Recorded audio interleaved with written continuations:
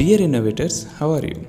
We know the role of extension service providers is to make the farmers learn about new technology and make them available with different technological ingredients. Extension itself is an educational intervention.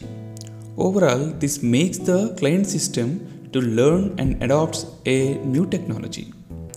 In this chapter, we are going to learn how an innovation or any agricultural technology usually spreads within the social system. In our case, it is farming community. And finding out various roles of extension service providers during this process. Let us understand the diffusion and adoption of an innovation. Innovation is an any idea or practice or any product which is perceived as new.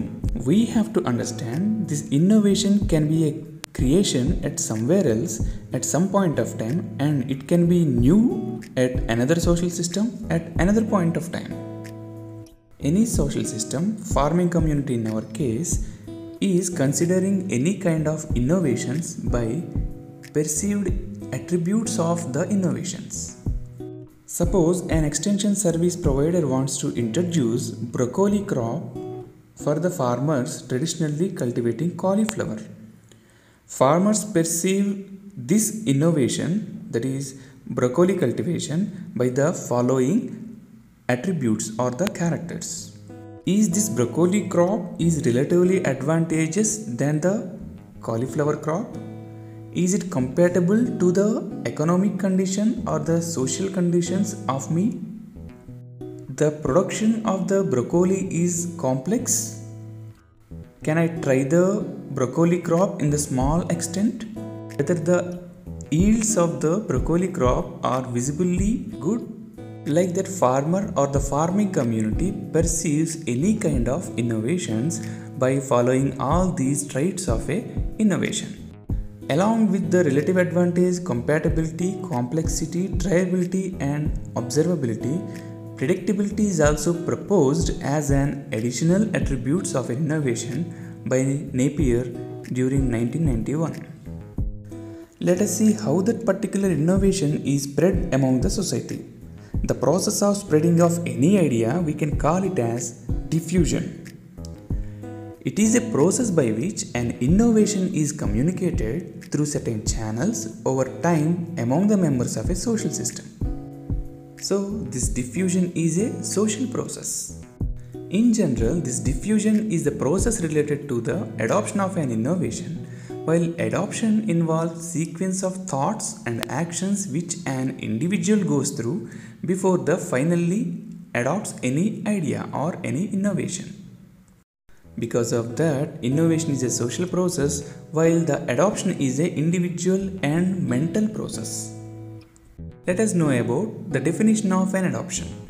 A decision to make full use of an innovation as a best course of action available is called adoption. According to the Rogers, adoption process is the mental process through which an individual passes from hearing about the innovation to the final adoption. According to the Rogers, adoption occurs in five different stages. The first stage is awareness stage, where the farmer just know about the availability of an innovation. Then he enters into the interest stage. There he requires an additional information and he attempts to get more and more information to know much about the innovation. Then he mentally evaluates that particular innovation in his condition and make some trial of that innovation at smaller scale level. Finally, he adopts that particular innovation. If we consider the seven step model of the Singh and Pareek, it starts with the need stage, where the farmer is in great need of a technology or any innovation to change his existing level of situation. Then he enters into the awareness stage where he knows about one idea is existing, it can act as a solution to his problem. Then he enters into the interest stage. Out of his interest, he could get more and more additional information, tries to get more knowledge about that particular innovation. And he mentally evaluates that particular innovation in his own condition in the deliberation stage. He just practices that particular innovation in very small scale in the trial stage. Based on the results obtained in the trial stage, he evaluates the whole innovation to treat his own problem. And finally, he adopts that particular innovation. But all farmers in the farming community does not adopt our new technology or any innovation at the same point of time. Based on their innovativeness, they adopt innovation at different points of time. Then what is innovativeness? It is the degree to which an individual or other unit of adoption is relatively earlier in adopting new technology than other members of a social system. Based on this innovativeness, the whole social system, say farming community, has been classified into different adopter categories.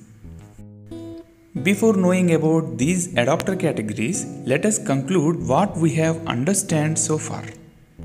We have discussed what is innovation and its attributes, how the innovation is diffused and what is the process of adoption through 5 and 7 step models. At last, innovativeness based on which adopter categories will be made. Thank you, keep learning.